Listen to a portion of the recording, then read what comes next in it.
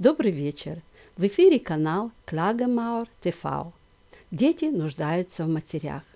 По сравнению с бывшей ФРГ в Западной Германии чаще встречаются проблемы в учебе и поведении детей и подростков.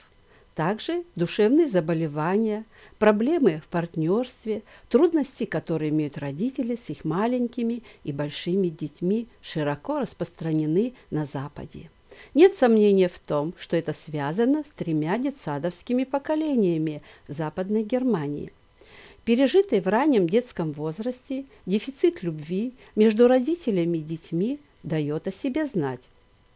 Исследования в США, начиная с 1991 года, приходят к тому же результату в отношении детей, которые находились в яслях и детсадах как минимум 10 часов в неделю – чем раньше малолетние дети попадают в ясли, и чем дольше они там находятся, тем агрессивнее и непослушнее они становятся, независимо от семейного уклада и так называемой высококвалифицированной опеки группе детсада.